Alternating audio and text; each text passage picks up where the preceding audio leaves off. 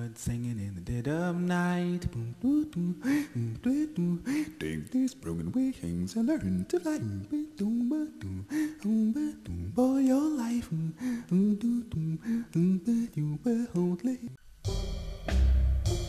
Powstanie styczniowe, które wybuchło w 1863 roku, było kolejną nieudaną próbą osiągnięcia przez Polaków niepodległości. Doszło wtedy do wielu potyczek i bitew. Polacy liczyli na wsparcie zachodnich mocarstw.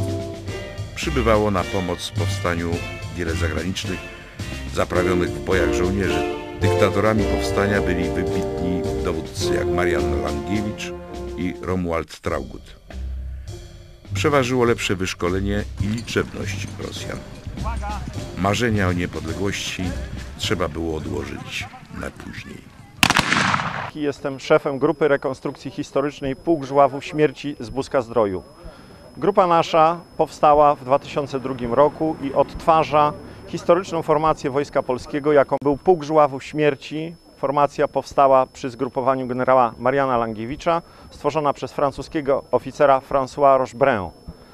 Nasza grupa dysponuje repliką historycznego sztandaru Pułku Żławów Śmierci, który towarzyszy nam na wszystkich rekonstrukcjach, w których bierzemy udział. Grupa nasza nawiązuje historycznie do tej formacji, w szczególności nasze umundurowanie i uzbrojenie jest dokładnym odwzorowaniem umundurowania i uzbrojenia tej historycznej formacji Wojska Polskiego. W ogóle historia żuławów wywodzi się z armii francuskiej. W czasie wojny w Afryce Północnej Francuzi zaciągnęli do swoich szeregów grupę tubylców, kabylów z Afryki Północnej, z gór północnego Atlasu, plemię o nazwie Zława. To byli niesłychanie waleczni ludzie, bardzo zdyscyplinowani, idący do ataku z całkowitą pogardą śmierci. I Francuzi jeden batalion tych żuławów zaciągnęli na swój żołd i w 30 roku już mieli sześć batalionów żuławów śmierci. Na owe czasy była to formacja elitarna, coś w rodzaju dzisiejszych komandosów, czyli y, ludzie do zadań specjalnych. Y, y, Żławi wsławili się niesłychanie w czasie wojny krymskiej, a zwłaszcza w czasie wojny o niepodległość Włoch. W bitwach pod Magentą i Solferino austriaccy generałowie nie mogli się nadziwić brawurze Żławów. Jeden z generałów austriackich twierdził, że Żławi to nie ludzie, to tygrysy. Francuski oficer François Rochebrun tworzył taką grupę swoich uczniów z byłej szkoły y, fechtunku w Krakowie i ci żławi w liczbie około 160 wzięli udział w pierwszej bitwie miechowskiej 17 lutego 1863 roku i tam zostali praktycznie zdziesiątkowani. Zginęło ich 86 i co najmniej 6 zmarło z ran. I po tej bitwie żławi wycofali się do Krakowa i tam, tam Roszbrin zaczął y, odtwarzać formację i odtworzył tą formację w obozie Langiewicza w Goszczy i ta formacja liczyła wtedy już dwie kompanie, czyli pułkiem nigdy nie była, liczyła dwie kompanie, czyli około 400 żuławów i te, y, pierwszą kompanią dowodził kapitan Tytus O'Byrne de Lacy, a drugą kompanią kapitan Wojciech Hrabia Komorowski. Y, żuławi wzięli udział w bitwie pod Chrobrzem i pod Grochowiskami. Tam pod Grochowiskami ponieśli dość duże straty i po bitwie pod Grochowiskami praktycznie zostali rozproszeni. I grupki, którym się udało przetrzeć do Krakowa, zostały w większości wzięte do niewoli. Niektórzy się uratowali, razem z bronią dotarli do Krakowa. Formacje żuławów istniały praktycznie w każdym większym zgrupowaniu powstańczym. W Polsce zwykło się ich nazywać żuławami śmierci, a to stąd, że składali przysięgę na sztandar, że albo zginą, albo zwyciężą. W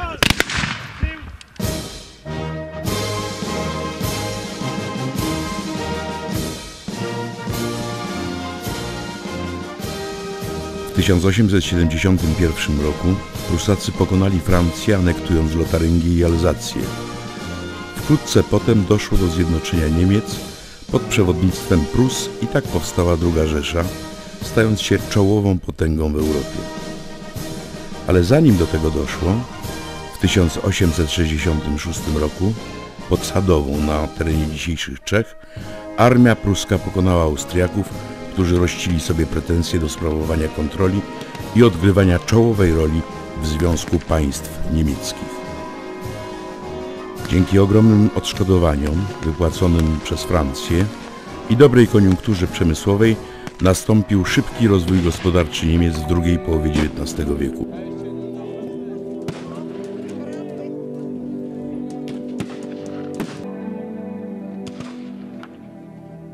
Opiekujemy się fortem Gerharda w Świnoujściu od mniej więcej 6 lat.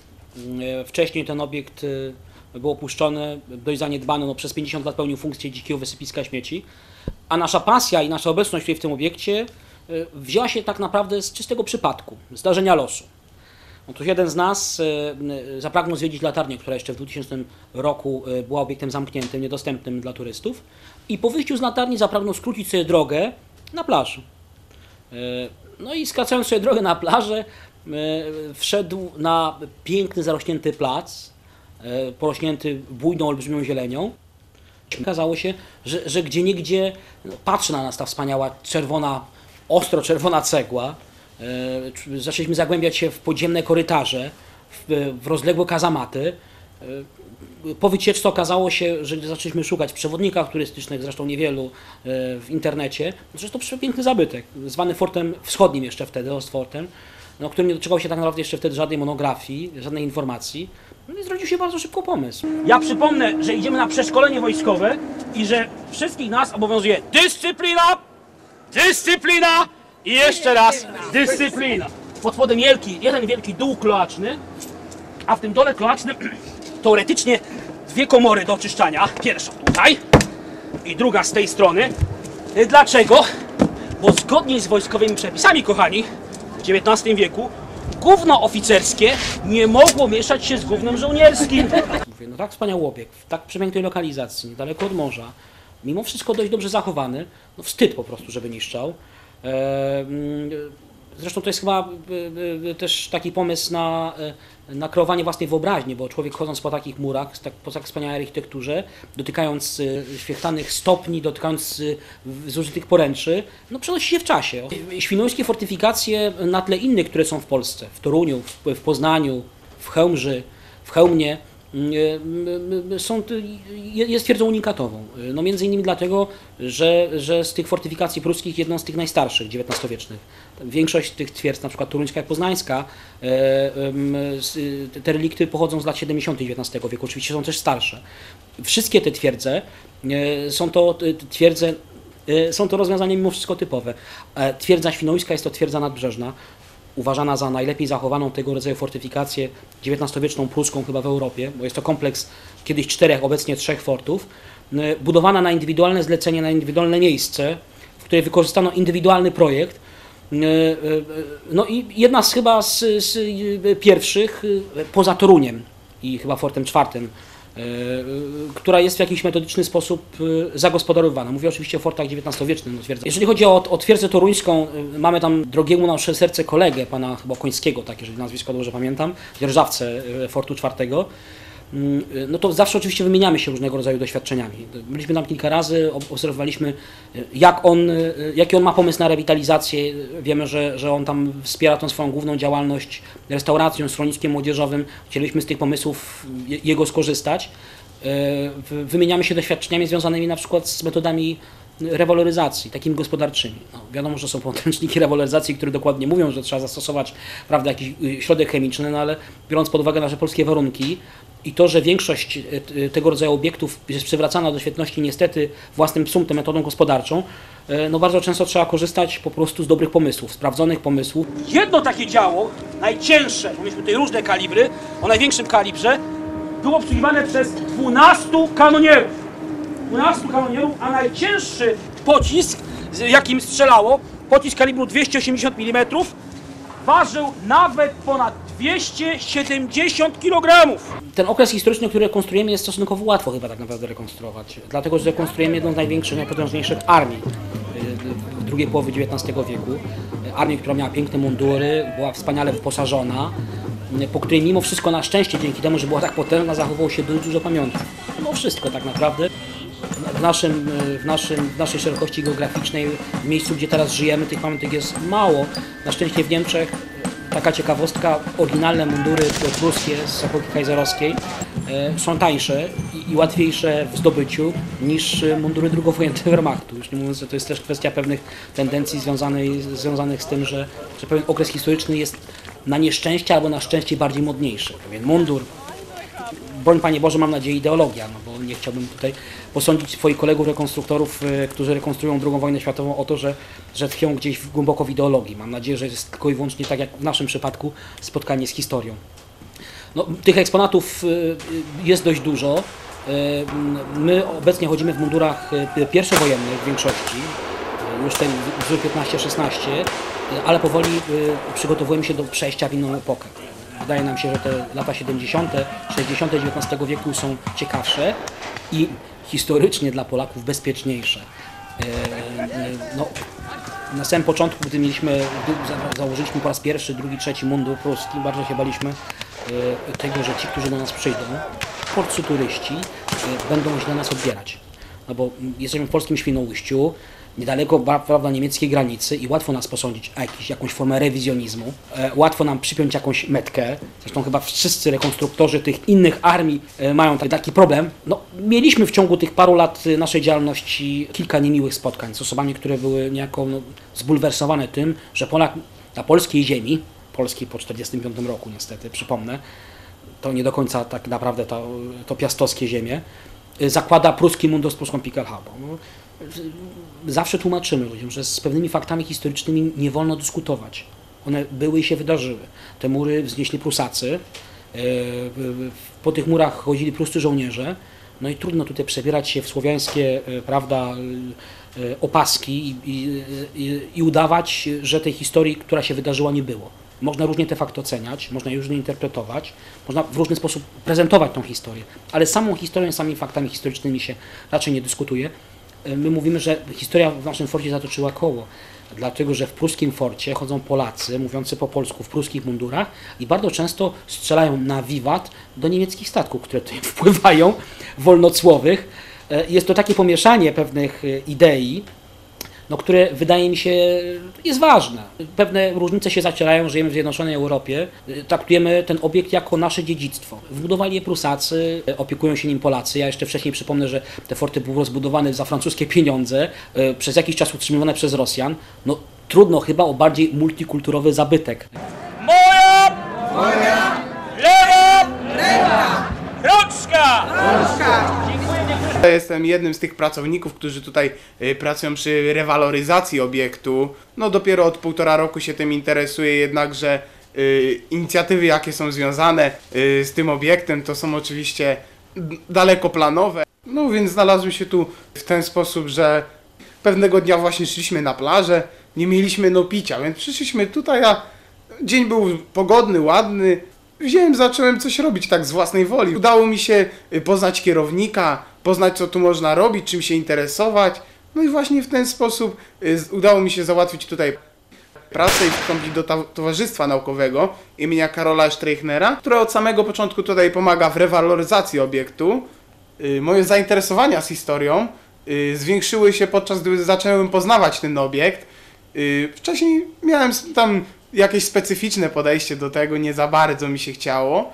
Jednakże później ten okres od y, połowy bądź od początku XIX wieku, tam do II wojny światowej, no coraz większe we mnie wzmógł wrażenie, no i jakoś y, coraz bardziej staram się tym interesować, przeglądam internet, najróżniejsze tam y, ciekawostki, bitwy, walki, no inne tym podobne rzeczy przeglądam, co się właśnie w tym okresie działo, no kto panował, no i inne tym podobne rzeczy. My powiem szczerze, mam właśnie największy problem z tym, że, że nie mamy skąd czerpać pewnych wzorów.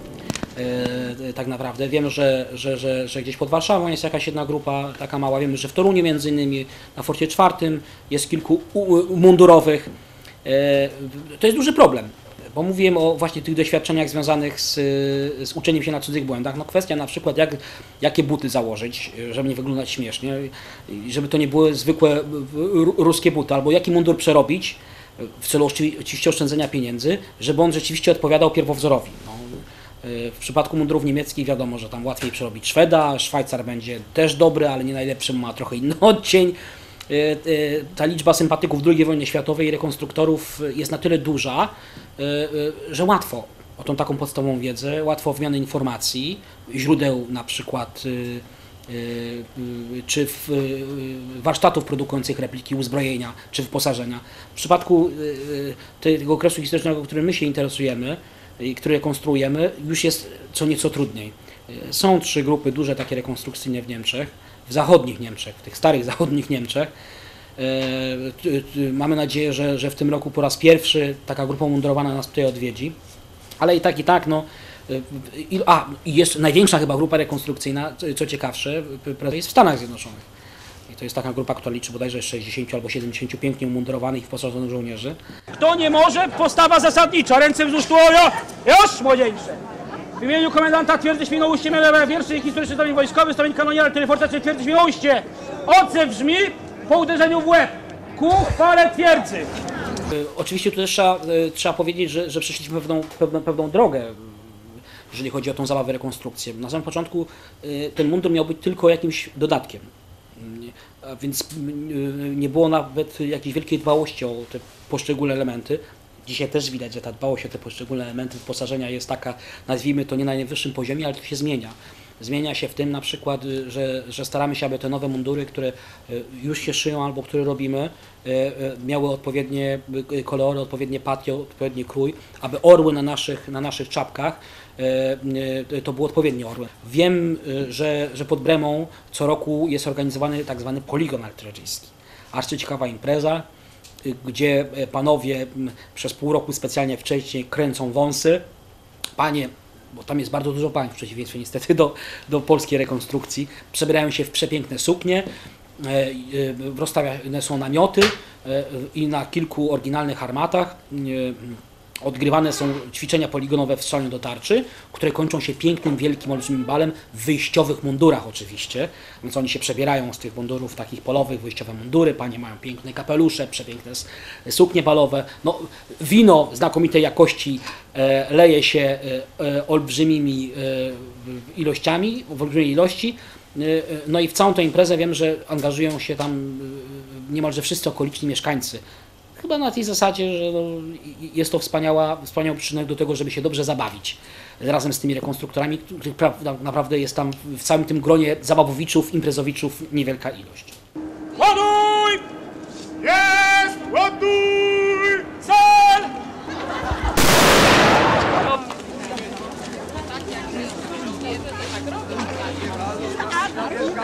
Równym, równym, równym krokiem!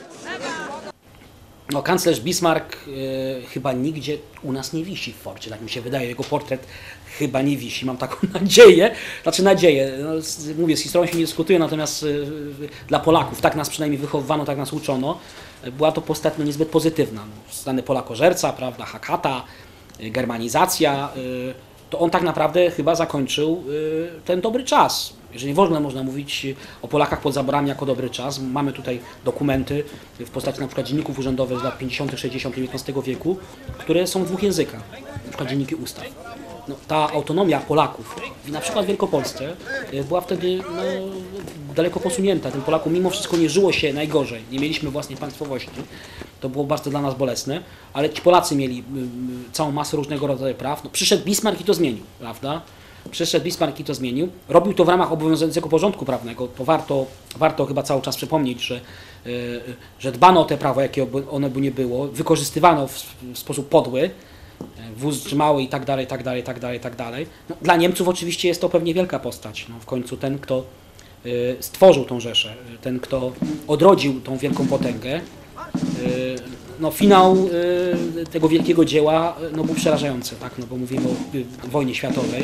To tak naprawdę to, to, to jego dzieło zapoczątkowało i spowodowało taki, a nie inny tragiczny finał. Dla Niemców jest to na pewno postać wielka. Dla nas, w związku z tym, no, że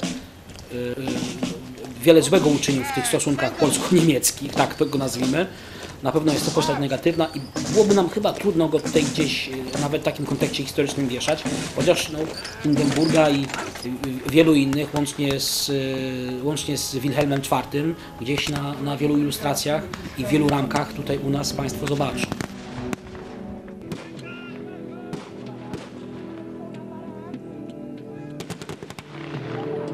Jestem dowódcą Gwardii Miasta Hradec Králové. Na sobie mam letni mundur dowódcy pierwszego pułku Armii Pruskiej. Obchodzimy w dniu dzisiejszym 142. rocznicę bitwy pod Sadową, w historiografii czeskiej znanej jako Bitwa pod Hradcem Králové. Na autentycznym polu bitwy prezentujemy jeden z ważniejszych epizodów tego starcia austriacko-pruskiego pod tytułem Książę Anton von Hohenzollern w bitwie o Chlum z 3 lipca 1866 roku. Wojna ta zwana siedmiotygodniową była starciem dwóch mocarstw, które rywalizowały między sobą o tak zwane przewodnictwo Związku Państw Niemieckich, co równało się w praktyce z dominacją w środkowej Europie. Armia pruska wyszła zwycięsko z tej batalii i zapoczątkowała tym samym drogę do późniejszego pokonania Francji pod Sedanem w 1870 roku i zjednoczenia Niemiec. Później nastąpił żmudny okres centralizacji władzy zwany potocznie okresem krwi i żelaza. Rekonstrukcją historyczną zajmuje się 28 lat. Z kolegą Pawłem Urbanem założyliśmy w 1992 roku stowarzyszenie, które nazywa się Garda Mesta Kralowe. W tej inscenizacji bierze udział ponad 400 uczestników w historycznych mundurach, 30 koni oraz 20 dział. Działa wymagają użycia czarnego prochu, który umożliwia odpowiednie efekty wybuchowe.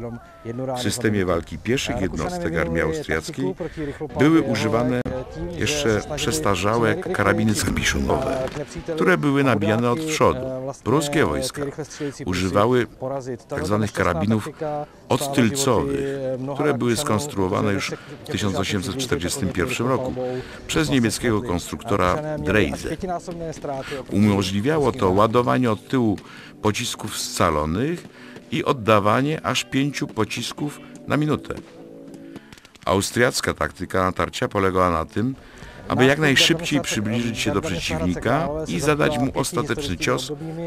Niestety, wobec szybkostrzelności karabinów niemieckich nie sprawdziła się ona i Austriacy ponieśli w związku z tym bardzo wysokie straty. Odtwarzamy wiele epok historycznych, jak wojna siedmioletnia, e, epoka napoleońska no i druga wojna światowa. Naszym hitem jest organizowana corocznie operacja Bailey Bridge. Nawiązuje ona do walk między aliantami a hitlerowcami. Nasi odtwórcy mają mundury wzorowane na tych z epoki. Szyją je wyspecjalizowane firmy krawieckie. Dla potrzeb inscenizacji robione są specjalne szarfy, broń, szable, hełmy, takie jak ten z charakterystycznym dziobem, zwany Pickelhaube. Mamy też w stowarzyszeniu kolegę, który trudni się wykonywaniem takich elementów. Rekonstrukcją zajmuję się od małego. Do teatru wojny mam niedaleko, więc nie sposób nie było nie zająć się tym tematem.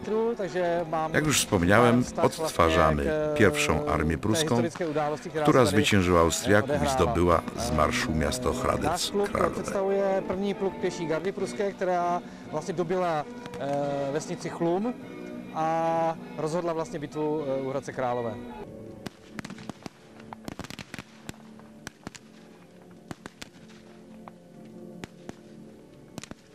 Jesteśmy stowarzyszeniem historyczno-wojskowym, które nazywa się Jindrichowscy Artylerzyści. Zajmujemy się tematyką prusko-austriackiej wojny. To jest armata dużego kalibru. W tym okresie była to najlepsza broń, jaką miała armia austriacka. Wzór z 1866 roku. Jest to ich rok konstrukcji i wyrobu. Jak již řekl, jsou vzor 1863, to znamená, že to je i rok konstrukce a výroby. Rekonstruujemy bitwę między Prusami a Austrią. Była to jedna z najkrwawszych bitew Była XIX wieku, gdzie zginęło ponad 19 50 století, tysięcy żołnierzy. Prusy zwyciężyły 45 dzięki nowym typom karabinów, zaś armia austriacka została dotkliwie pobita. a rakouská armáda byla poražena.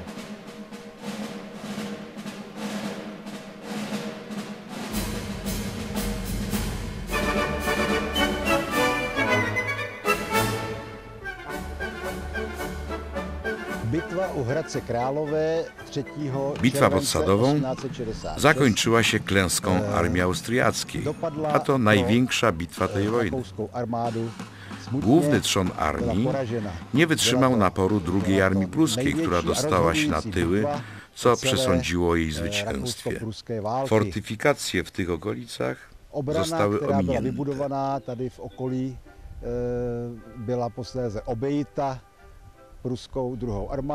Armia austriacka.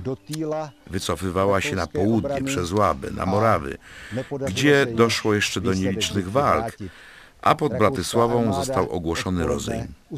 Cała ta wojna zakończyła się tak zwanym pokojem praskim.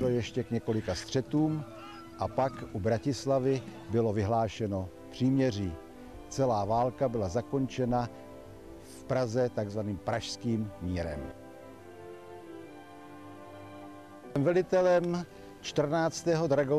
Jestem dowódcą 14 polního Pułku Dragonów imienia polnego marszałka Alfreda kawalerie Jestem pułkownikiem armii austriackiej.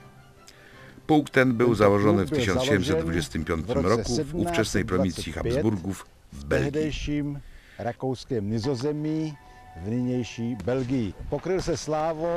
Dzień naszej największej chwały, w którym 18 armia austriacka pokonała Prusaków pod Kolinem 1757. 18 czerwca Tento den se stal 1757 roku. Dzień ten jest świętem naszego pułku. Pułk ten ma siedzibę w Brandysie nad Łabą, gdzie stacjonował on w latach 1855 1855-1876. a pak v letech 1912 Ostatnia faza jego istnienia to pierwsza wojna światowa. Po wojnie, po powstaniu Republiki Czechosłowackiej, stał się on fundamentem czwartego czechosłowackiego jeździeckiego pułku. Náš spolek má 15 členů,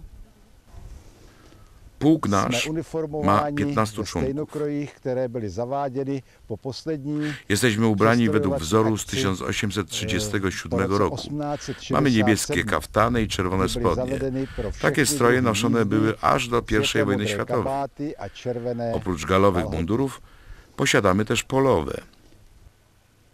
Na tuto akci jezdíme z pětních důvodů.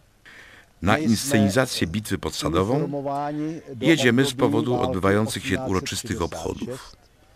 Ale chystáme se na to. V té době nosili jsme celozelené stejnokroje, přilby byly stejné, šavle byly stejné.